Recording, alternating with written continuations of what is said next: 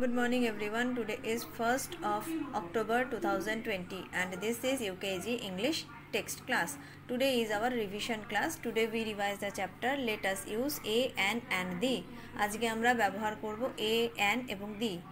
a মানে একটি an মানেও একটি এবং দি মানে স্পেশাল কোনো কিছু এ ব্যবহার হয় যখন কোনো কনসোনান্ট লেটার থাকে কোনো ওয়ার্ডের সামনে okay so a always use before a consonant word starts from a consonant letter when a word starts with a consonant letter যেমন এ ক্যাট ক্যাটে সি কনসোনেন্ট তাহলে হলো এ ক্যাট এ বয় এ ডাক a dog so we use a which word is starts with a consonant letter we use a before these words now an we use an before these words which is starts from vowel letter an apple an egg an umbrella an elephant okay so these are the words starts with vowel letters যখন কোনো শব্দ vowel letter দিয়ে শুরু হয় তার আগে আমরা সবসময় অ্যান বসাবো অ্যান মানেও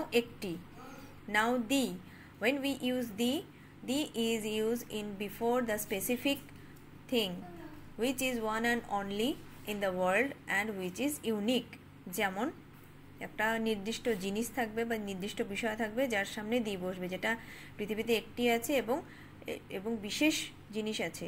যেমন the sun the moon the star sun moon এবং স্টার আমরা একটি করেই পাই। স্টার যদিও অনেকগুলো থাকে, কিন্তু স্টার আমরা আকাশে পাই এবং এটা স্পেসিফিক আকাশেই পাওয়া যায়।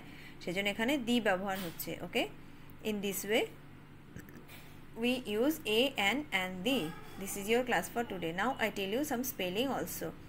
The spellings are cat, C-A-T cat, boy, B-O-Y, duck, D-U-C-K, dog, D-O-G, egg, E-G-G.